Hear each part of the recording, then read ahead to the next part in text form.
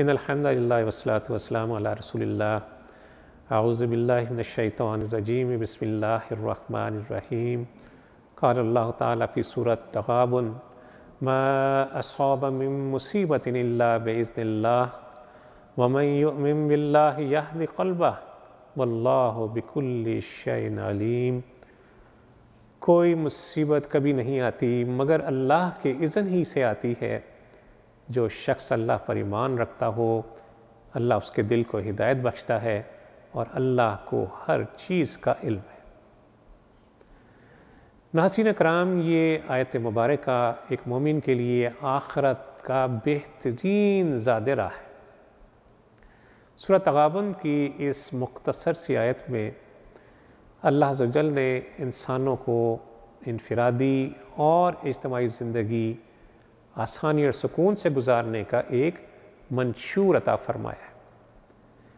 अहल ईमान को ये बात जहन नशीन करवाई जा रही है कि कोई भी मुसीब, मुसीबत अस खुद इंसान पर नहीं झपटती, बल्कि अल्लाह के इज़न से आती है।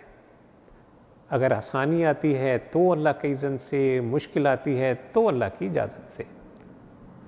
और फिर मोमिन इतमान रखता है कि मुसीबत अल्लाह की तरफ़ से है और मेरा रब जानता है कि मेरी बिसात क्या है।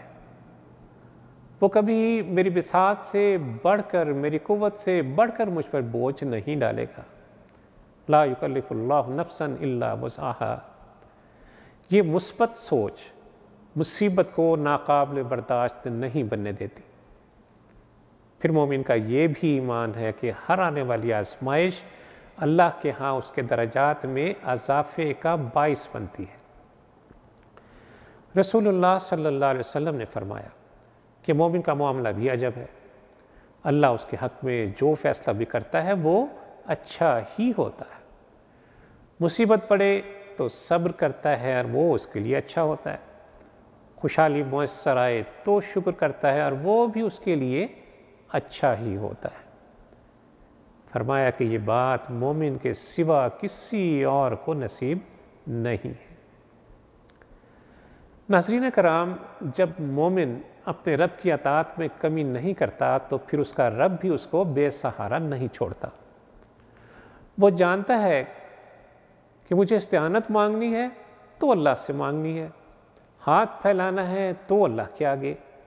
उम्मीद बांधनी है तो अल्लाह से बांधनी है। तो जब ऐसा मोमिन हो, इन ख्यालात का हामिल हो तो ऐसा शख्स कभी बेहौसला नहीं होता। बल्कि अल्लाह वजल उसका ईमान, उसका तवक्ल और ज़्यादा कर देता है।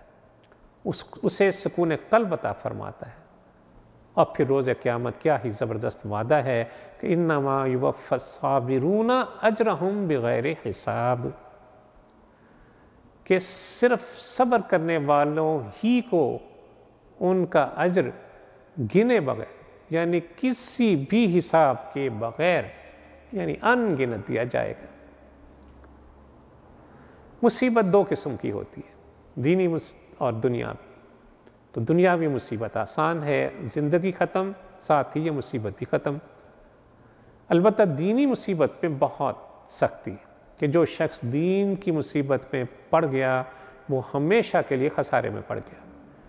क्योंकि दीनी मुसीबत मरने के बाद भी इंसान का पीछा नहीं छोड़ती।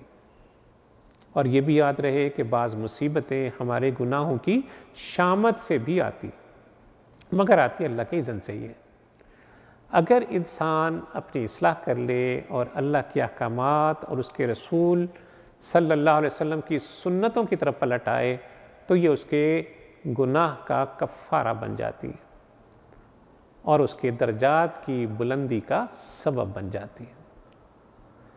मुश्किल हालात को कैसे बर्दाश्त करना है? नबी सल्लल्लाहु अलैहि वसल्लम ने बड़ी खूबसूरत दुआ तालीम फरमाई। आप वसल्लम फरमाया कि जब किसी बंदे को कोई मुसीबत पहुँचती है तो वो कहे कि हम अल्लाह के लिए हैं और उसी की तरफ़ लौटाए जाने वाले हैं। अल्लाह, मेरी मुसीबत दूर फरमा और उसके मुकाबले में बेहतर अजरता फरमा। और फिर फरमाया कि फिर अल्लाह अज़्ज़ वजल उस मुसीबत को दूर कर देते हैं और उसके मुकाबले में उसको बेहतरी अता फरमाते हैं। आज की गुफ्तु का निचोड़ ये है कि मसाइब व मुश्किल ख़ुद से नहीं आते। ये सरासर अल्लाह के इज़्ज़त से, अल्लाह की मर्ज़ी से आते हैं कि किसी मुसीबत को नाजिल होने दे या ना होने दे। अल्लाह का हर हुक्म मोमिनों के लिए खैर का, भलाई का फ़ैसला होता है। हम अपने रब की हमतों का, उसकी मसलहतों का इदराक नहीं रखते। हमें उसके हर फैसले पर राज़ी रहना है।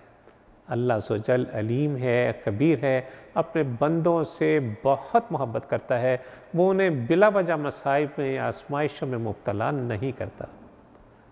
अल्लाह सजल से दुआ है कि वो हमें ऐसा कल्ब सलीम अता फ़रमाए जो उसके हर फैसले पर राज़ी रहे।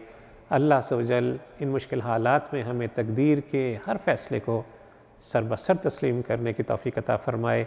हमें सब्र अता फ़रमाए, इस्तकामत से नवाजे। इन मसाइब को हमारी गुनाहों का कफ़ारा बना दे। हमें अला हौसलगी अता फ़रमाए। जब हम उसके हजूर हाजिर हो, वो हमसे राज़ी हो। वसल्ला तला खैर खल ही महमद वाला आलि व